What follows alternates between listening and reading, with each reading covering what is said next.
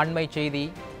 திருச்சி மாவட்டம் ஜியபுரம் அருகே முக்கொம்பு மேலணை சுற்றுலா தலத்திற்கு வந்த காதல் ஜோடியில் காதலனை விரட்டிவிட்டு பதினேழு வயது சிறுமியான காதலியை பாலியல் வன்கொடுமை செய்த வழக்கில் நான்கு காவலர்கள் கைது செய்யப்பட்டுள்ளனர். பயிற்சி சப் இன்ஸ்பெக்டர் உட்பட நான்கு போலீசார் போக்கு சட்டத்தின் கீழ் கைது செய்யப்பட்டுள்ளனர்.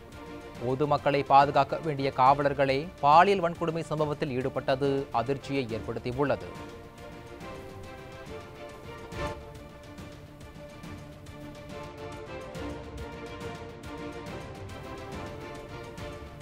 திருச்சி மாவட்டம் ஜியபுரம் அருகே முக்கொம்பு மேலணை சுற்றுலா தலத்திற்கு வந்த காதல் ஜோடியில் காதலனை விரட்டிவிட்டு பதினேழு வயது சிறுமியான காதலியை பாலியல் வன்கொடுமை செய்த வழக்கில் நான்கு காவலர்கள் கைது செய்யப்பட்டுள்ளதாக தற்போது அண்மை செய்தி வெளியாகியுள்ளது. பயிற்சி சப் இன்ஸ்பெக்டர் உட்பட நான்கு போலீசார் போக்சோ சட்டத்தின் கீழ் கைது செய்யப்பட்டுள்ளனர்.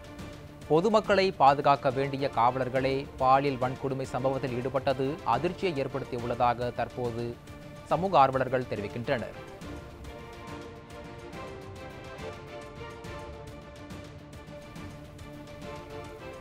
திருச்சி மாவட்டம் ஜீயபுரம் அருகே முக்கொம்பு மேலணை சுற்றுலா தளத்திற்கு வந்த காதல் ஜோடியில் காதலனை விரட்டிவிட்டு பதினேழு வயது சிறுமியான காதலியை பாலியல் வன்கொடுமை செய்த வழக்கில் நான்கு காவலர்கள் தற்போது கைது செய்யப்பட்டுள்ளனர்.